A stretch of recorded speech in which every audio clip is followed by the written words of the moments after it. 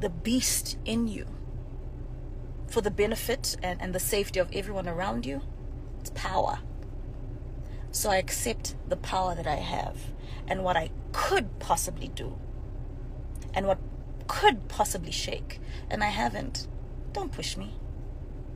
Don't push me because I'm close to the edge. And I- Guys, Enhle Mbali sent an email to Black Coffee to say to wish him well.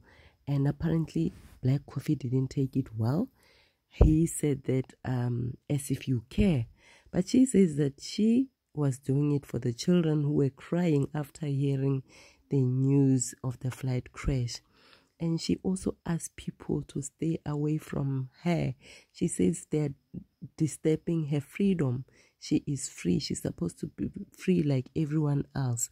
Um, she also indicated that she never spoke about the things of about her marriage or something like that but now she is speaking out that black coffee had two children with two different mothers while they were married so she says she's fed up of people who are always talking about her all the time she says if she posts a picture people will just say he lost black black coffee lost or something like that they'll just have something to to to say so she's asking people to leave her alone.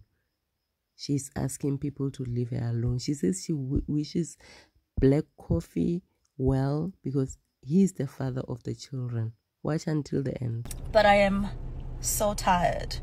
I'm so tired of being the bigger person. In case you guys haven't noticed, I am living my life. In case you guys haven't noticed, when I said I wanted a divorce. I wanted a divorce because there were two children by two different mothers. Ne? And I made the decision after a lot of thinking. Even pre and post the the whole situation, there was some shit happening. Ne? And I haven't said a word. I have only reacted to the things that have been done to me.